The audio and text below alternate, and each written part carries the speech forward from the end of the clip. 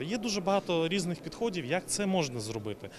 І я наскільки знаю, що такі великі міста, як Львів, Київ, Дніпропетровськ, Вінниця, Ужгород, інші міста, вони вже розробляють так само свої системи, як би вони це бачили. Тому що основний принцип має що бути. Незалежності, який це буде квиток, чи це буде пластикова карта, чи це буде такий чіп, чи це буде навіть паперовий квиток, але він буде фіксуватися, наприклад, в е, спеціальних пристроях час, коли його закомпасували, і е, ну, аби уникнути якихось е, так сказати, зловживань. зловживань.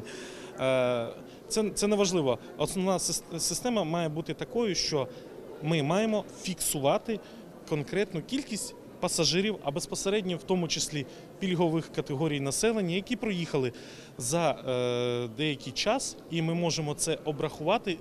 Е, Другим чином, як я вже казав, ми можемо контролювати готівковий, тобто ми не будемо мати взагалі готівкового обігу коштів, і е, це так само прибере людський фактор, коли ми можемо побачити, що десь гроші зникають. Крім того, коли є пластикова картка, ми розуміємо, що це набагато дешевше, ніж кожен раз робити паперовий квиточок. Ось.